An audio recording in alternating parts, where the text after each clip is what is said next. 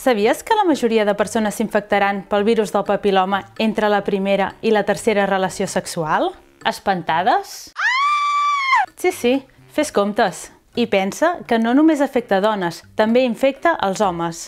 Espantats?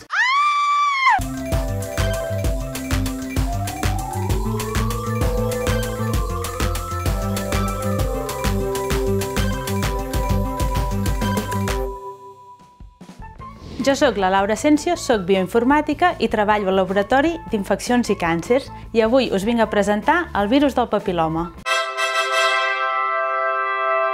El virus del papiloma és un virus de transmissió sexual i pot infectar tots aquells òrgans que intervenen en el sexe, com els genitals, l'anus i el cap i el coll. El virus del papiloma pot causar càncer, però abans no es desenvolupi un càncer, ha de passar per unes etapes. La primera etapa és la infecció. Tot i que la majoria de persones ens infectarem pel virus del papiloma, el més habitual és que el nostre cos l'elimini de forma natural.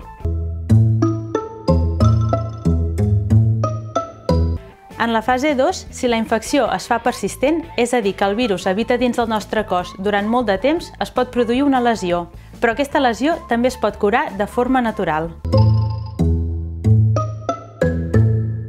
I en la fase 3, les infeccions que no s'han curat, malauradament, progressaran a càncer. El càncer més comú associat al virus del papiloma humà és el càncer de cèrvix o de coll d'úter. Actualment afecta a 600.000 dones cada any al món.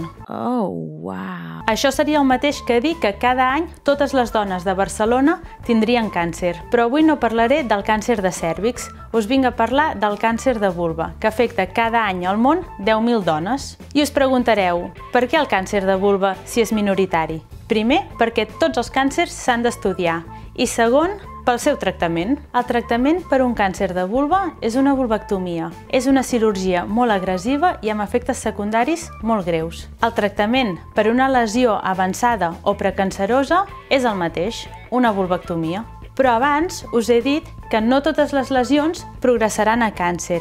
Aleshores, si no podem saber quines lesions acabaran siguent càncer, no podem saber quines dones s'han de tractar. Per desgràcia, hi haurà dones que potser seran tractades amb una vulvectomia quan no hauria de ser necessari. El que volem saber és quines lesions progressaran a càncer i quines no. Jo sóc bioinformàtica i intento descobrir com funciona llegint l'ADN. I quin ADN llegeixo? 1.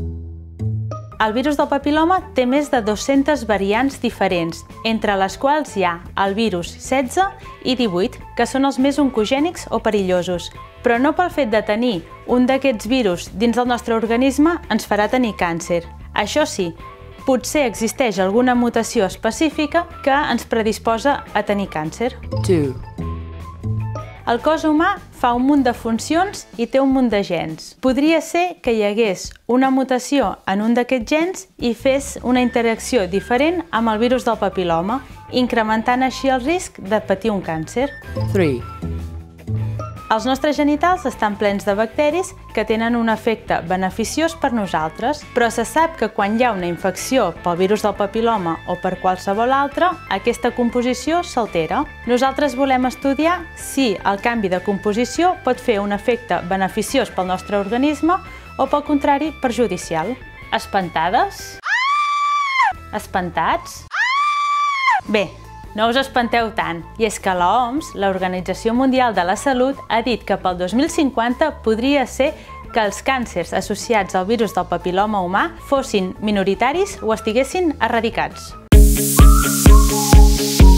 I això seria gràcies a les vacunes i als programes de detecció precoç. Ara mateix a Catalunya es vacunen a les nenes de 12 anys i aquest any per primer cop es vacunaran els nens de la mateixa edat.